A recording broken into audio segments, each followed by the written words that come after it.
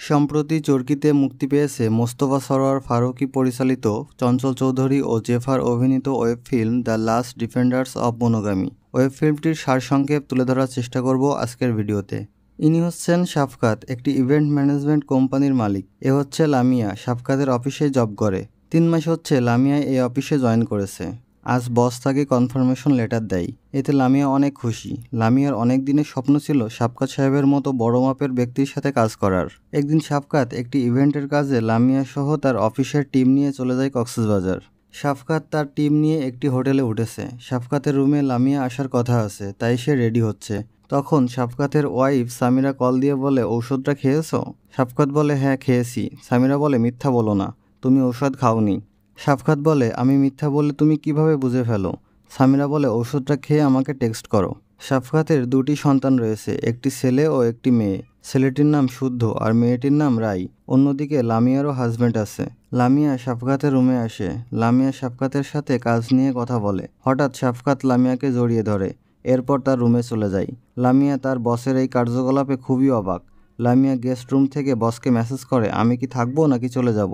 Message পেয়ে সাবকাত মিটিংয়ে join করার জন্য একটা লিঙ্ক পাঠাই। লামিয়া সাবকাতের সাথে মিটিংয়ে জয়েন করে। সাবকাত লামিয়াকে জড়িয়ে ধরে যে ভুল করেছে, সেজন্য সে অনুতপ্ত এবং বেশ চিন্তিত। লামিয়ার সাথে কাজ নিয়ে কথা বলতে বলতে মাথা ঘুরিয়ে পড়ে যায় লামিয়া সাবকাতের রুমে যায় সাফকাত অনুশোচনা করে বলে, আমি একজন ভালো মানুষ। আমি কেন এমন কাজ করলাম? লামিয়া বলে, ওটা খুবই বিরক্তিকর ছিল। কিন্তু বস, আপনি চাপ নিয়েন না। আপনি কিন্তু আবার অসুস্থ হয়ে যাবেন। সাফকাত বলে, তুমি প্লিজ কিছু মনে করো না। আর এই কথা কাউকে বলো না। কারোর সাথে শেয়ার করো না। পরের দিন সন্ধ্যায় সাফকাত তার সব এমপ্লয়িকে নিয়ে শপিং করতে যাই সাফকাত বলে, তোমাদের ইচ্ছা মতো কেনাকাটা করো। সব খরচ আমি দিব। সাফকাত তার ওয়াইফের জন্য একটি শাড়ি পছন্দ করে। লামিয়াকে ডেকে বলে, দেখো তো শাড়িটা কেমন। লামিয়া বলে, অনেক সুন্দর, বস। আপনার পছন্দ আছে। সাফকাত দোকানদারকে বলে, সেম শাড়ি দুইটা দিন, দুইটা আলাদা ব্যাগে। সাফকাত একটি শাড়ি লামিয়াকে গিফট করে, আর এই শাড়ি নিয়েই বাদে যত ঝামেলা। দেখতে থাকুন। হোটেলে ফিরে লামিয়া নিজে থেকেই সাফকাতের রুমে যায়। আজ তাদের উদ্দেশ্য ফিজিক্যালি মেলামেশা করা। তারা দুজনে যখন কাছাকাছি আসবে, তখন সাফকাতের উপলব্ধি হয় যে সে ভুল করছে। সে কান্না করতে করতে বলে, আমি এত খারাপ হয়ে গেছি, আমার বউ বাচ্চা রেখে আমি এখানে কি করতেছি? আমার বউ আমাকে কত ভালোবাসে, আমি আর এখানে থাকব না, এখনই ঢাকায় ফেরত যাব। এরপর সাফকাত আর লামিয়া দুটি আলাদা মাইক্রোবাসে ঢাকায় ব্যাক করে। কয়েকদিন পর লামিয়া সাফকাতকে কল দেয়। ওই দিন বউয়ের প্রতি সাপকাতের যে ভালোবাসা লামিয়া দেখেছিল, তাতে লামিয়া সাপকাতের প্রতি মুগ্ধ।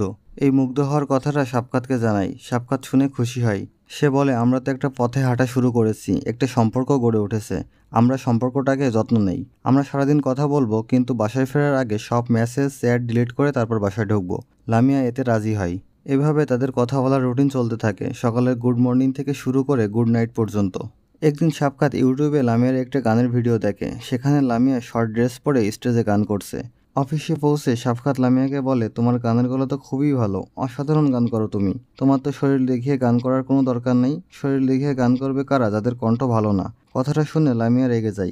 সাফকাত বুঝতে পারে যে সে লামিয়াকে অপমান করে কথা বলে ফেলেছে।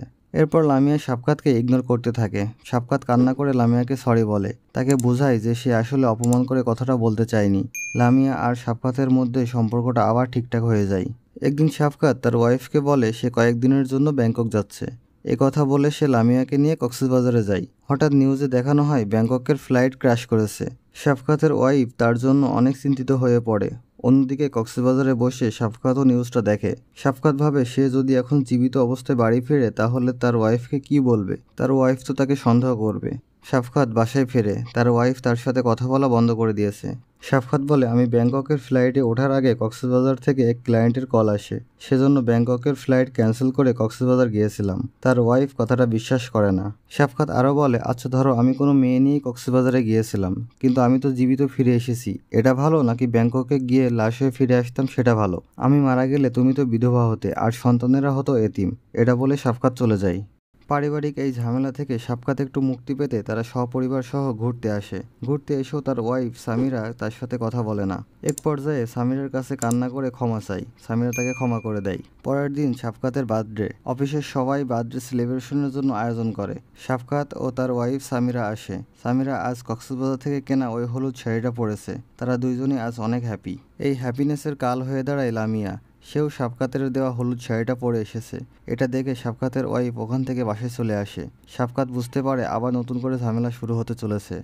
সাফকাত বাসায় এসে সামিরাকে বলে, দুইটা ম্যাচিং শাড়ির বিষয়টা তো কাকতালীয়। সামিরা বলে, এটা মোটেও কাকতালীয় না।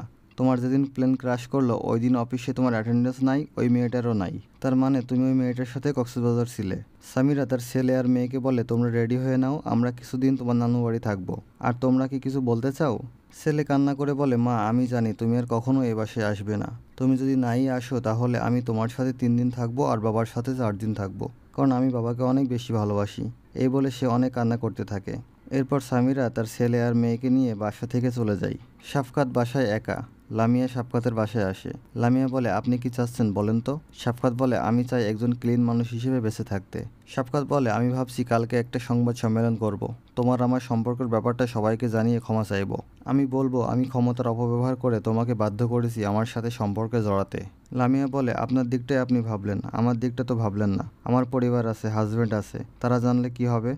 সাবকাত বলে, আমি কি করব বলো? লামিয়া বলে, আপনি আমাকে ট্র্যাপে ফেলেছেন। আপনাকে ভালো জানতাম, অনেক সম্মান করতাম। এখন দেখছি আপনি মানুষ হিসেবে অনেক ভয়ঙ্কর। এটা বলে লামিয়া চলে যায়। কিছুক্ষণ পর সাফকাতের ওয়াইফ ফিরে আসে। সে বলে, শুদ্ধ আর রায়ের বাবা ভয়ঙ্কর? সাফকাত কথাটা শুনে কান্না করতে থাকে। লামিয়া তার হাজব্যান্ডের কাছে সাফকাতের সাথে রিলেশনের কথাটা খুলে বলে।